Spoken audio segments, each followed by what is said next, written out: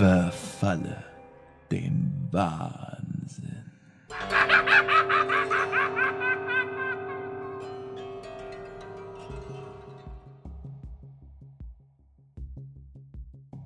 Hey, hast du jemals versucht, mit dem Rauchen aufzuhören?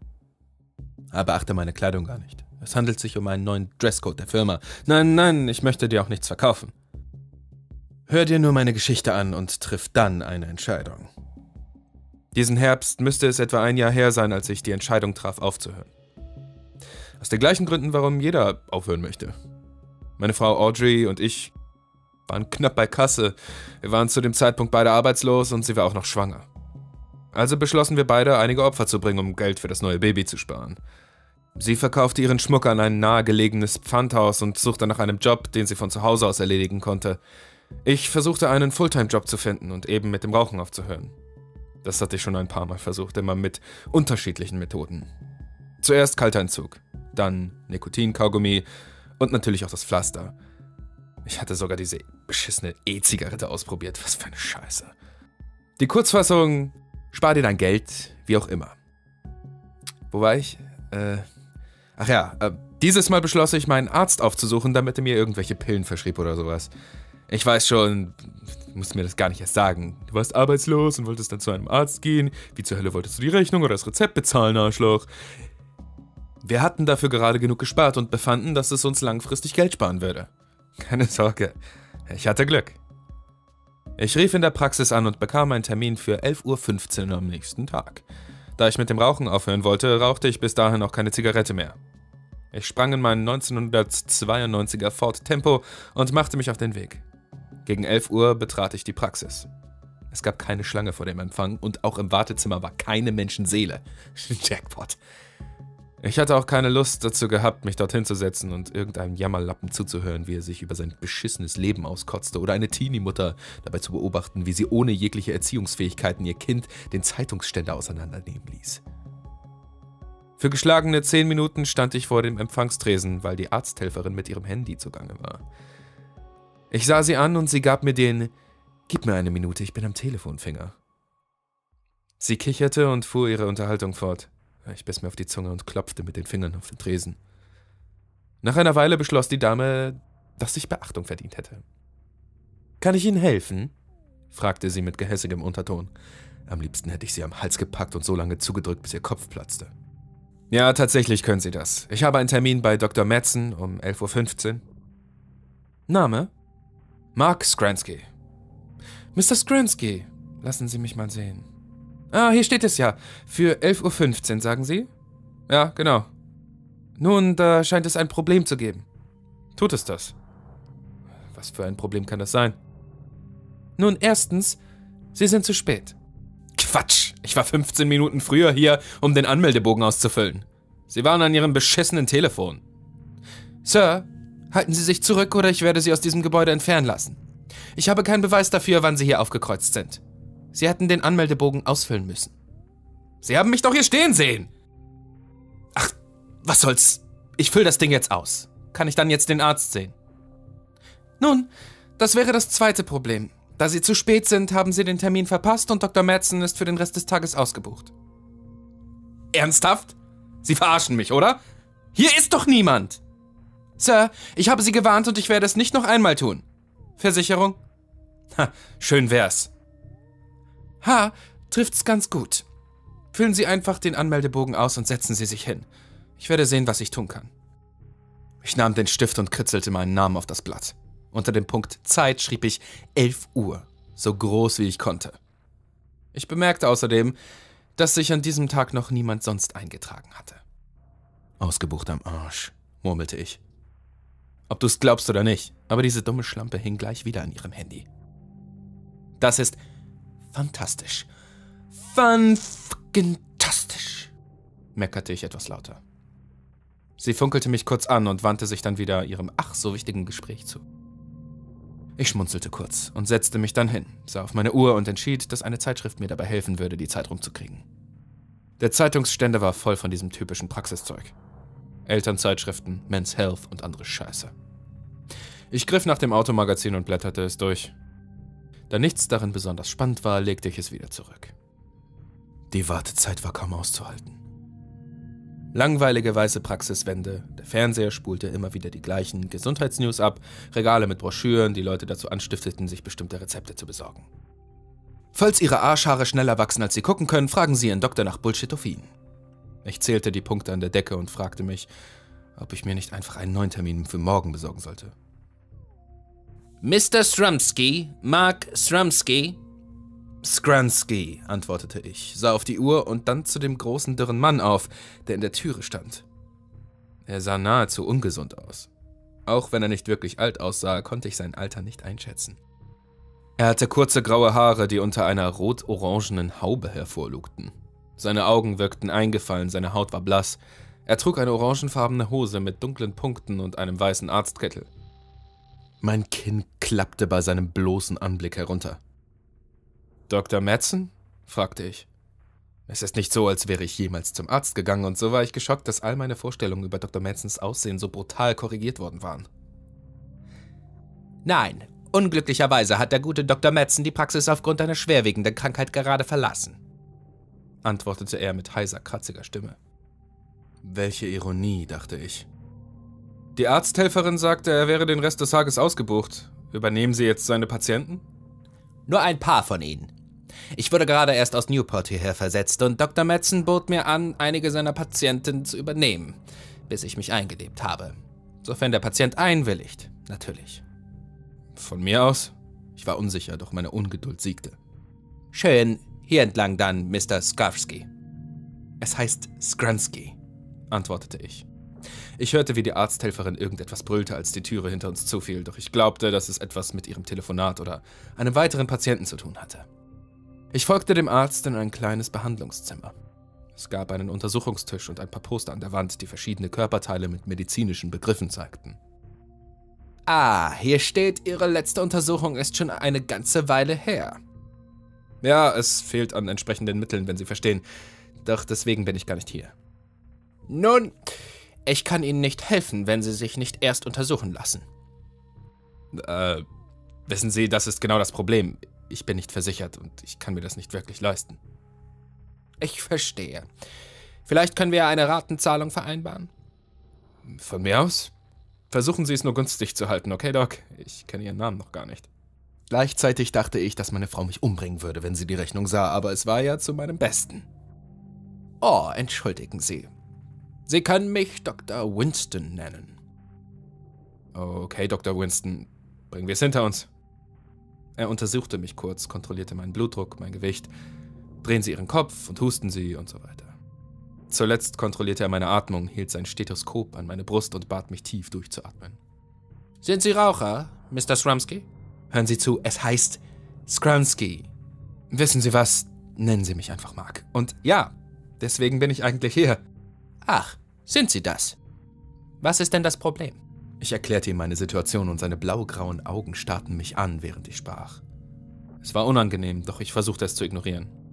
Ja, Sie haben Glück, sagte er, während sich ein breites Grinsen auf seinem blassen, papierähnlichen Gesicht ausbreitete. Zufällig kann ich Ihnen die Chance Ihres Lebens bieten. Es gibt ein neu entwickeltes Medikament, welches für Menschen wie Sie geradezu geschaffen wurde. Ach, hören Sie auf, Doc. Nagelneu. Das bedeutet, es wird mich einiges kosten. Beide Arme und ein Bein vielleicht? Worüber sprechen wir hier? Nein, nein, Sie verstehen nicht. Das Medikament ist zurzeit noch in der Testphase, bevor es überhaupt auf den Markt kommen darf. Momentan werden Freiwillige mit einer Summe von nicht weniger als 1500 Dollar belohnt, um es zu testen und über die Ergebnisse zu berichten. Dafür wurde es bereits freigegeben. Wirklich? Die bezahlen mich dafür, dass ich ihre Pillen nehme und herausfinde, ob sie wirken oder nicht? Oh, nicht nur das, aber da Sie mein erster Patient sind und nicht, nicht unwesentlich an der Entwicklung des Medikaments beteiligt war, wäre ich bereit dazu, die Rechnung für die heutige Untersuchung verschwinden zu lassen. Falls Sie an diesem Versuch teilnehmen. Es sah nach einer Win-Win-Situation aus. Die Untersuchung wäre umsonst, ich würde das Rezept bekommen, für das ich hergekommen war, und obendrein würde ich dafür noch bezahlt werden. Ich war dabei. Na schön, hört sich gut an. Wie sieht die Bezahlung aus und was muss ich dafür tun? Also, der gesamte Versuch dauert 15 Tage. Jeden Tag werden wir uns treffen und Sie werden mir erzählen, was die Medikamente mit Ihnen anstellen. Für jeden Bericht werde ich Ihnen 100 Dollar zahlen. Es gibt zwei Arten von Pillen. Die Pillen aus dieser Schachtel, er hielt eine rot-orangefarbene Schachtel hoch, werden Sie dreimal täglich nehmen. Direkt als erstes in der Früh, exakt nach einem halben Tag und kurz bevor Sie ins Bett gehen. Dann hielt er eine zweite Schachtel hoch, die grau und schwarz war. In dieser Schachtel sind Pillen, die Sie immer dann nehmen, sobald Sie den Drang dazu haben, eine Zigarette zu rauchen. Sie dürfen während des Versuchs weiterhin rauchen, besonders wenn Sie dann immer die Pillen aus der grauschwarzen Schachtel nehmen. Tatsächlich werde ich Ihnen sogar Zigaretten stellen. Er reichte mir ein Gutscheinheft, welches locker den Wert von drei Stangen Zigaretten beinhaltete. Wenn ich weiterhin rauche, wie soll das dann funktionieren? Vertrauen Sie mir. Am 15. Tag des Versuchs werden Sie nicht mehr rauchen wollen. Das kann doch kaum besser klingen. Die einzige Voraussetzung ist, dass Sie den Versuch nicht abbrechen. Ja, ja, ja, schon klar. Wenn ich es nicht beende, werden Sie mich nicht bezahlen, kapiert. Ich drehte mich um, um die Praxis zu verlassen. Die Arzthelferin wartete an der Türe zum Wartezimmer bereits auf mich. Sir, ich muss Sie bitten zu gehen. Wie bitte? Sie können nicht einfach so in das Behandlungszimmer einer Arztpraxis marschieren. Sie haben Glück, dass ich nicht die Polizei gerufen habe. Hören Sie zu, Lady. Das Handy muss tiefer in Ihrem Gehörgang stecken, als ich angenommen hatte. Der Arzt hat mich aufgerufen, mich untersucht, mir ein Medikament verschrieben und mir noch Gutscheine in die Hand gedrückt. Und jetzt werde ich gehen. Ich rufe die Polizei. Der Arzt ist in seiner Mittagspause und wird vor 12.45 Uhr nicht zurück sein. Wie Sie meinen, ich habe keinen Bock mehr darauf. Ich verschwinde jetzt. Und damit ging ich. Das war definitiv genug Drama für einen Tag. Mit meiner Beute kletterte ich in mein Auto, startete den Motor und verließ den Parkplatz. Dabei bemerkte ich, dass die Uhr 12.07 Uhr anzeigte. Niemals war das Gespräch so kurz. Vor 12.05 Uhr habe ich das Behandlungszimmer nicht betreten. Nicht mal die Uhr funktionierte in dieser Schrottkarre. Meine Armbanduhr zeigte die gleiche Uhrzeit. Na, dann muss ich mich vorhin verguckt haben. Auf dem Weg nach Hause hielt ich an einer Tankstelle und besorgte mir ein paar Schachteln Marlboro. Wenn die Zigaretten schon umsonst waren, konnten es auch Markenzigaretten sein. Scheiß auf diesen Paul Mall Mist. Ich betrat mein Haus, legte meinem Hund Goose die Leine an und ging wieder hinaus, um meine erste Zigarette des Tages zu rauchen. Bevor ich sie anzündete, nahm ich eine der schwarz-grauen Pillen und genoss dann die Zigarette. Audrey entdeckte mich draußen und beschloss herauszufinden, was los war. Hey, Liebling, ich hätte dich nicht so früh zurückerwartet. Warst du bei deinem Termin? Klar war ich da. Der neue Arzt ist etwas merkwürdig. Und die Arzthelferin ist völlig verrückt, aber es hat geklappt. Warum rauchst du dann?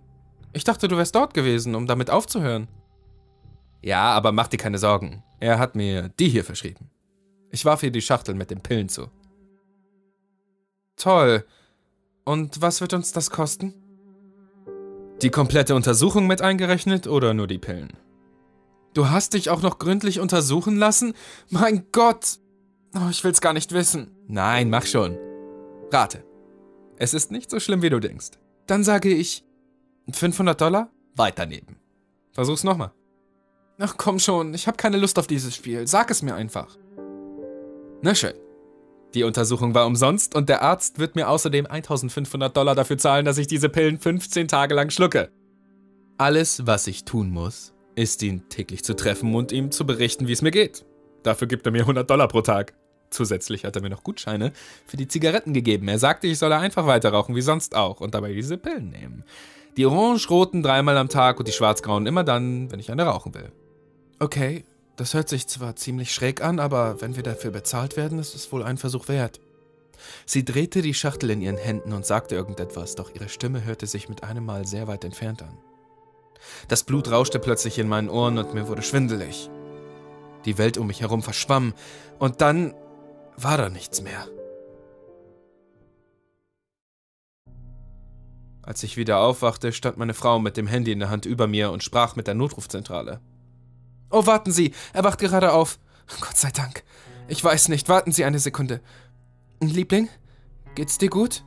Du bist in Ohnmacht gefallen. Ja, mir geht's gut. Kopfschmerzen, aber ich denke, es geht mir gut. Gut, schicken Sie einen Krankenwagen. Nein, oh nein, keinen Krankenwagen. Es war nur ein Schwindelanfall. Weißt du, wie teuer so ein Krankenwagen ist? Sag ihnen, sie sollen ihn abbestellen. Ach, gib mir einfach das Handy, ich mach das. Hallo, Notrufzentrale? Eine Frauenstimme antwortete mir. Sir, können Sie mir beschreiben, was passiert ist? Keine Sorge, rufen Sie Ihren Krankenwagen zurück. Es war nur ein Schwindelanfall. Sir, ich muss erst sicher sein, dass es Ihnen gut geht, bevor ich das tun kann. Nichts Schlimmes, ich bin einfach nur umgekippt. Mir geht's gut. Die Stimme am anderen Ende der Leitung veränderte sich leicht. Sie wurde tiefer und kratzte etwas. Sie haben sie genommen, oder? Die Pillen.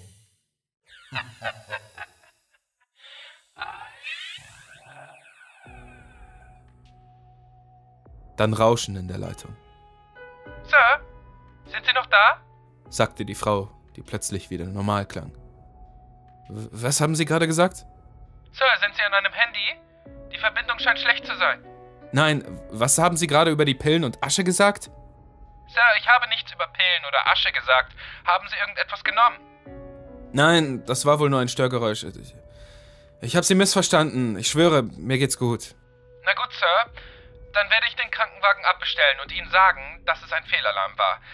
Wenn das nochmal passiert, sollten Sie aber dringend einen Arzt aufsuchen. Das mache ich, sagte ich und legte auf. Ich wischte mir etwas Spucke aus dem Mundwinkel und bemerkte, dass diese schwarz war. Meiner Frau sagte ich lieber nichts davon. Sie hatte heute schon genug Stress gehabt. Der Rest des Tages verlief ereignislos. Als ich mich bettfertig machte, musste ich an diese Stimme am Telefon und den merkwürdigen Arzt denken. Nur ein verrückter Tag, dachte ich. Ich griff nach der Pillenbox und betrachtete sie. Es war eine einfache Pappschachtel, die halb rot und halb orange war. Das gleiche galt für die grauschwarze Schachtel. Ich nahm meine Pille aus der orangeroten Box und drehte sie in meinen Händen hin und her. Sie sah nicht aus wie eine gewöhnliche Pille. Sowas hatte ich noch nie gesehen. Äh, Nicht, dass ich andere Pillen bisher sonderlich gründlich untersucht hätte. Die Pille bestand aus einer durchsichtigen Kapsel mit einer roten Flüssigkeit darin. Eine weitere orangefarbene Flüssigkeit wirbelte darin, doch beide vermischten sich nicht. Wie Öl und Wasser. Von der Pille ging ein leichtes Leuchten aus.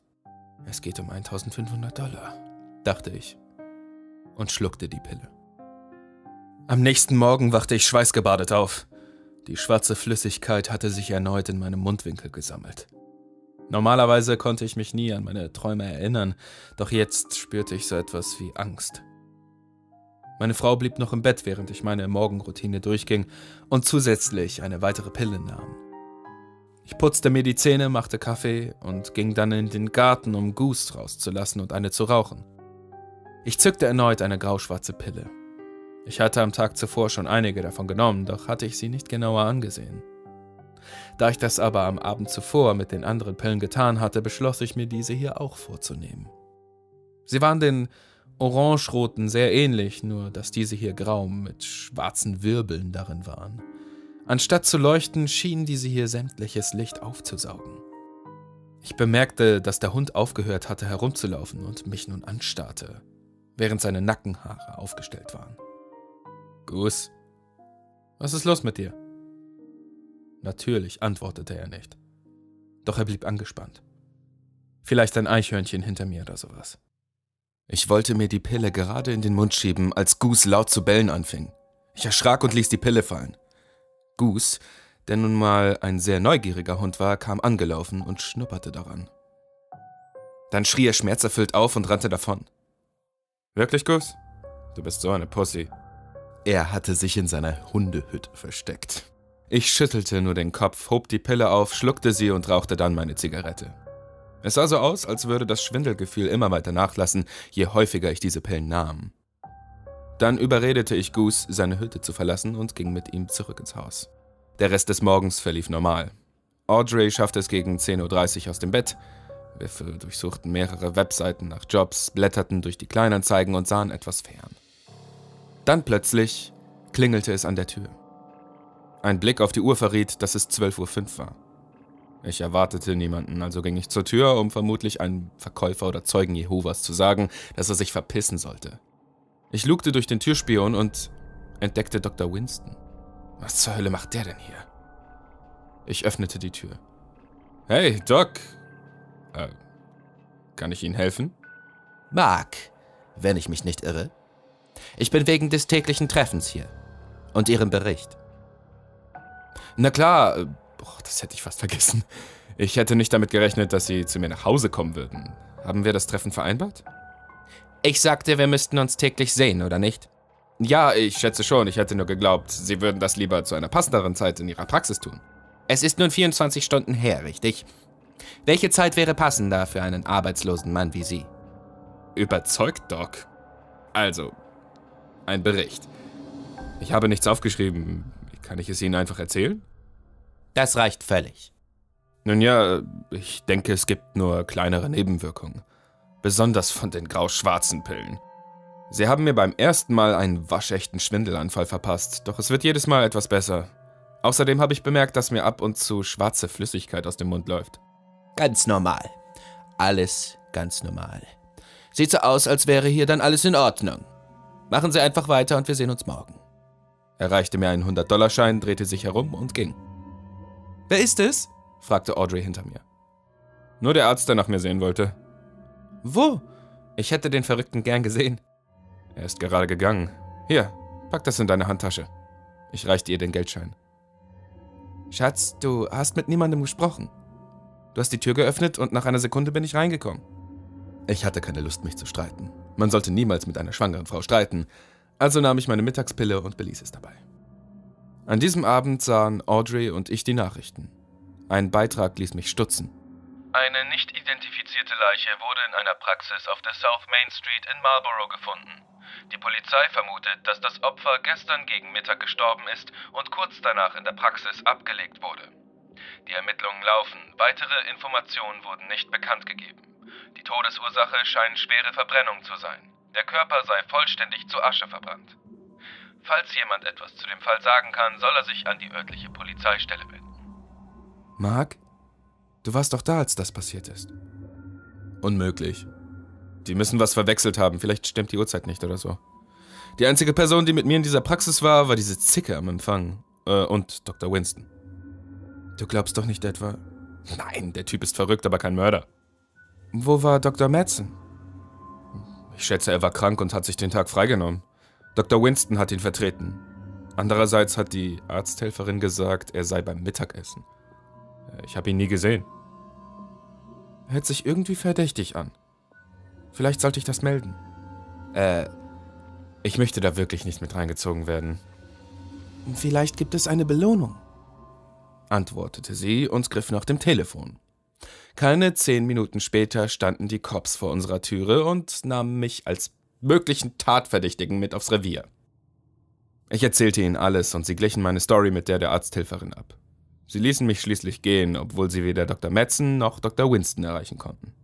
Die nächsten Tage verliefen gut. Audrey bemerkte, dass ich sogar noch mehr rauchte. Das erzählte ich auch bei einem unserer Treffen. Dr. Winston tauchte jeden Tag um 12.05 Uhr auf. Alles, was ich aus ihm herausbekam, war alles ganz normal. Machen Sie einfach weiter und berichten mir weiterhin. Ich war plötzlich häufiger wütend und entwickelte einen merkwürdigen grauen Punkt mit einem roten Ring darum auf meinem Finger. Jeden Tag wurde der Punkt größer und er brannte. Der Arzt sagte nur, gut, das bedeutet, dass es funktioniert. Ich erinnerte mich auch plötzlich an meine Träume. Sie wurden immer schlimmer. Jeden Morgen wachte ich entsetzt auf. Die schwarze Flüssigkeit sickerte immer aus meinen Mundwinkeln. Es schmeckte verbrannt und nach Asche. An Tag 7 bat Audrey mich, den Versuch zu beenden. Ich lehnte natürlich ab. Ich brauchte die Pillen mittlerweile mehr als die Zigaretten und rauchte sie nur noch, um eine nehmen zu können. Wenn du nicht aufhörst, diese Pillen zu schlucken, werde ich gehen. Mir gefällt nicht, was sie aus dir machen. Babe, tu mir das nicht an, wir brauchen das Geld.